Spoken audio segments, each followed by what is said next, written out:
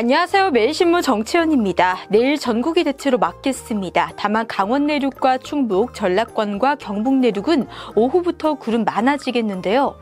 이들 지역은 오후부터 저녁 사이 소나기가 내리는 곳이 있겠습니다. 예상되는 비의 양은 강원 내륙은 5에서 20mm, 충북 북부와 전북 남동 내륙, 전남 중부 내륙과 경북 북부 내륙은 5mm 안팎 되겠습니다. 내일 아침 최저 기온 11도에서 18도, 낮 최고 기온 23도에서 31도 되겠는데요. 낮과 밤의 기온차가 매우 크게 벌어지겠으니 건강 관리에 유의해 주시기 바랍니다. 바다의 물결은 동해와 남해 앞바다에서 0.5에서 1m, 서해 앞바다에서 0.5m로 일겠습니다. 안쪽 먼바다의 파고는 동해와 남해 0.5에서 1.5m, 서해 0.5에서 1m로 예상됩니다.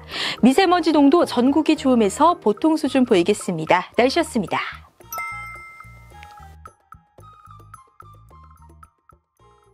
이번 소식도 유익하셨나요? 매일신문 구독하기로 신속하고 정확한 정보를 받아보실 수 있습니다.